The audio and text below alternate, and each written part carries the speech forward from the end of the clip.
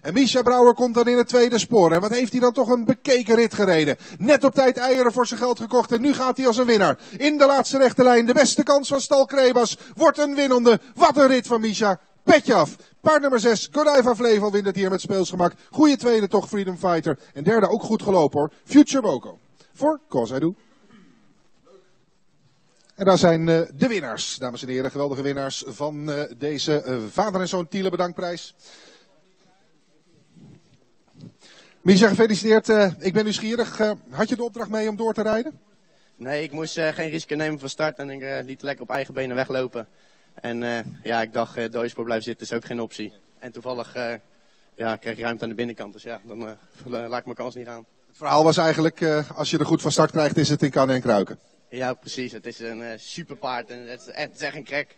Alleen op Wolf gaat vaak met start nummer 1, ja, komen we niet uit hoe we het graag willen en is nu wel. Nog genoeg energie, hè? Ja. Daar gaat hij. Misha Brouwer gaat voorrijden, dames en heren, met een merrie met veel klassen. Godiva Flevo voor Stal PD wint hier de vijfde van vandaag. U kunt in de handen, dames en heren, voor Misha Brouwer. Hij uh, wint de koers met Godiva Flevo.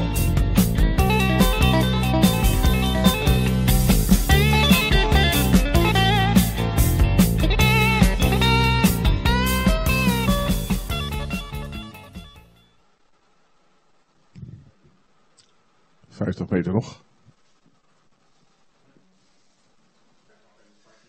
En de start is gevallen. En het is na de start een strijd om de leiding. Daar komt aan de buitenzijde Diola P. met veel machtsvertoon naar voren. Maar ook Freedom Fighter wil mee. En aan de binnenzijde een hele goede start voor Albert H.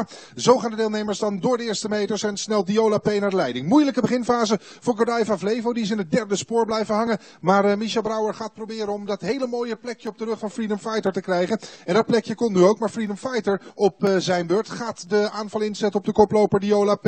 En de leiding overnemen. We krijgen de favorieten vooraan. Waarbij Freedom Fighter Fighter leidt. Diola P op de tweede plaats. En aan de buitenzijde komt daar nu een aanval van Godiva Flevo. Beginfase is uh, ja, toch wel uh, turbulent aan de binnenzijde Albert H. En achter deze paarden is het in het tweede spoor de opkomende Zandvangens Titaan. Achter deze paarden dan het nummer 7 van Koazaidu. Tweede spoor daarachter John Dekker met Cavalli Starlake. En aansluiting is er voor Future Boko. Paarden komen dan 2 aan 2 op weg langs de rechter met twee rondes te gaan. En ze gaan er een hele lange strijd om de leiding van maken. En dat is altijd mooi. Hè? Strijd als uh, Michel pad is gestuurd met orders van Bas. Dan weet je dat er geen cadeautjes worden gegeven. Ook niet aan Freedom Fighter. Die heeft wel nog altijd een halve lengte. Maar Ruud Pols, ja, die denkt nu ook, wat moet ik hiermee? Het is natuurlijk zelfmoord. Maar ze hebben misschien één geluk. Het zijn wel de twee klaspakken van het veld. En inmiddels kiest dan die uh, toch eieren voor zijn geld. En hij denkt, ja, ik moet nu toch terug. En gaat op de rug van Freedom Fighter naar uh, plek 2. Daarachter, de rust is wedergekeerd, Diola P. En aan de buitenzijde komt er dan een deelnemer in het tweede spoor naar voren. En dat is Zandvangens Titaan. Achter Zandvangens Titaan ligt er mooi in uh, Cavalli Starlake. En achter Cavalli Starlake is aan de binnenzijde het nummer 1 van Albert H. Achter Albert H in het tweede spoor Future Boko. Die heeft het kruid nog kurkdroog. En achter Future Boko geldt hetzelfde voor paard nummer 7, Kozaidu. Paarden komen weer in de rechte lijn. Straks nog een ronde te gaan. En het is Freedom Fighter die het veld de weg wijst. Tweede plaats erachter Godiva Flevo. Daarachter komt er nu reactie van. Een gigant van een outsider, Cavalli Starlake. Maar die gaat om de iets wat moe gestreden Zandvangens Titaan heen. Daar moet zo dadelijk ook Future Boko omheen en dat gaat lukken. En zo gaan ze dan op weg naar de overkant van de baan. En die Cavalli Starlake, dat is toch wel een dijk van een verrassing dat hij vandaag zijn beste gezicht weer een keer laat zien. Komt aan de buitenzijde tot schuin naast het tweede paard. Godiva Flevo, maar heeft er nog wel een bergwerk te verzetten om in de buurt te komen van die koploper. En die koploper is nog altijd Freedom Fighter.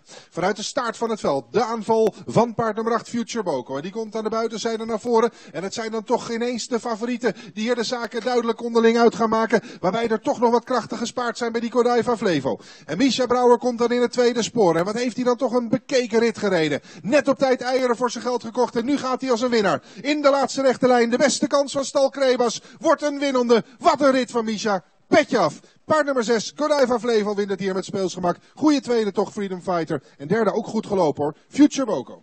Voor Cause Do.